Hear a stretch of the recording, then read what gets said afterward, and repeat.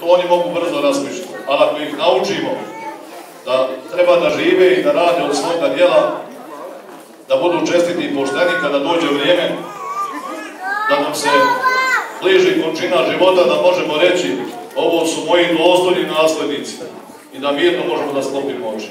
Svako drvo se po rodu svome poznaje. Zato, da znate, ni jedna sirota nije ostavljena. O svakome se Bog brine. Kaže Isus, ne brinite se šta ćete jesti, šta ćete obući. Ljiljani poljski ne predu, niti tkaju, pa kaže ni car Solomon u svoj slavi svojoj nije se obukao kao jedan od tih poljskih cvjetova. Ptice nebeske ne oru, ne siju, ne žanju, pa i gospod hrani. Kako li kaže, neće vas malo biti.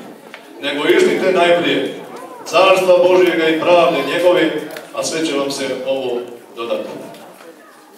Da Bog da, da imamo što manje djevojaka i momaka koji žive van braka, da se sastave u bračnu zajednicu, da se iz tih zajednica i svakih vaših zajednica, vi ste još svi mladi, možete još djece roditi, da se djeca rađaju i da djecu svoju vaspitavate onako kako vam malo prije rekao.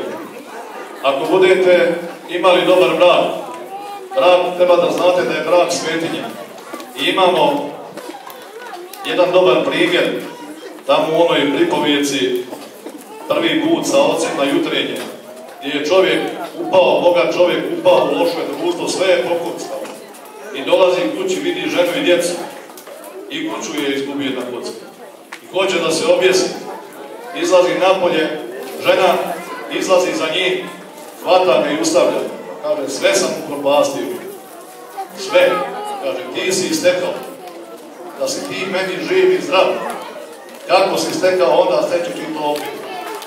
A onda on dolazi sebi, vraća se u kuću i ujutru rano ustaje, budi sina, za ruku ga vodi da idu u manastir na jutrenje, na jutarnju. To je prvi put da dijete i osjeti toplinu tu života u kući, u zajednici, da ga otac njegov za ruku vodi prvi puta na jutrenje. Ako imamo dobre brakove, imat ćemo stabilnu i zajednicu i onda će biti stabilna nam i mjesna zajednica, stabilna i opština, stabilna i država.